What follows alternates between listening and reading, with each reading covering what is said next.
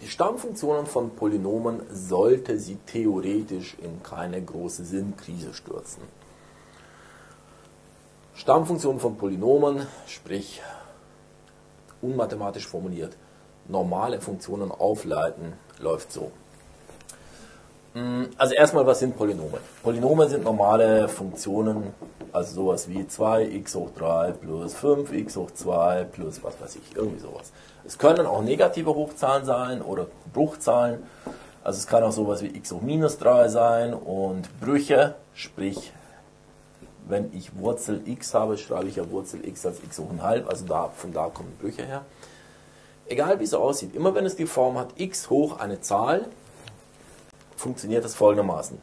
Also, meine Funktion, von der ich ausgehe, hat die Form irgendetwas mal x hoch irgendeine Zahl. Die Stammfunktion davon, das a lasse ich stehen. Die neue Hochzahl ist 1 mehr, also n plus 1. Und diese neue Hochzahl kommt runter in Nenner. Das ist auch schon die ganze Regel.